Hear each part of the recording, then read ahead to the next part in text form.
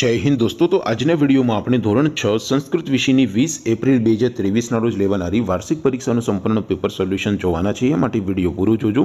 વિડીયોને લાઇક કરજો. તમારા બધા મિત્રો સાથે શેર કરજો. અને ચેનલને સબસ્ક્રાઇબ કરવાનું બાકી હોય તો ચેનલને સબસ્ક્રાઇબ કરી બાજુમાં આવતા બે લાઇકન ઉપર ક્લિક કરજો. જેથી તમને નવા વિડીયોની નોટિફિકેશન મળતી રહે. તો ચાલો શરૂ કરીએ આજનો વીડિયો.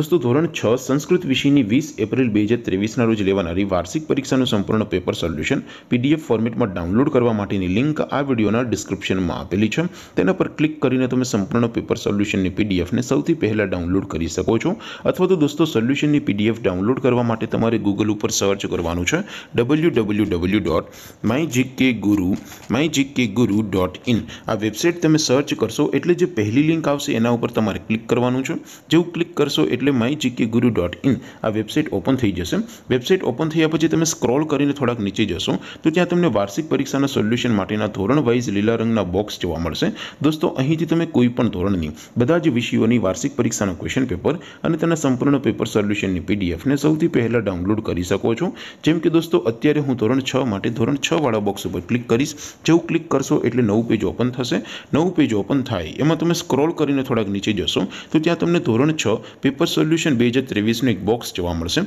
જેમાં દોસ્તો નીચે લખેલું છે ધોરણ છ સંસ્કૃત પેપર તેની સામે ડાઉનલોડ બટન છે તો એ ડાઉનલોડ ઉપર ક્લિક કરશો તો ધોરણ છ સંસ્કૃત વિષયની વાર્ષિક પરીક્ષાનું ક્વેશ્ચન પેપર પીડીએફ ફોર્મેટમાં ડાઉનલોડ થઈ જશે તેની નીચે લખેલું છે ધોરણ છ સંસ્કૃત સોલ્યુશન તેની સામે પણ ડાઉનલોડ બટન છે તો એ ડાઉનલોડ ઉપર ક્લિક કરશો તો ધોરણ છ સંસ્કૃત વિષયની વાર્ષિક પરીક્ષાનું સંપૂર્ણ પેપર સોલ્યુશન પીડીએફ ફોર્મેટમાં ડાઉનલોડ થઈ જશે તો દોસ્તો આવી રીતે તમે ધોરણ છના બધા વિષયોની વાર્ષિક પરીક્ષાના ક્વેશ્ચન પેપર અને તેના સંપૂર્ણ પેપર સોલ્યુશનની પીડીએફને W W W dot my GK guru dot in આ વેબસાઇટ પરથી ડાઉનલોડ કરી શકો છો તેમ છતાં કોઈ ક્વેરી હોય, કોઈ પ્રશ્ન ન સમજાતો હોય તો નીચે કોમેન્ટ કરીને પૂછી શકો છો. અદરવાઇઝ આપણે નવા વિડીયોમાં મળીશું. ત્યાં સુધી રજા આપું. આવજો દોસ્તો. જય હિન્દ.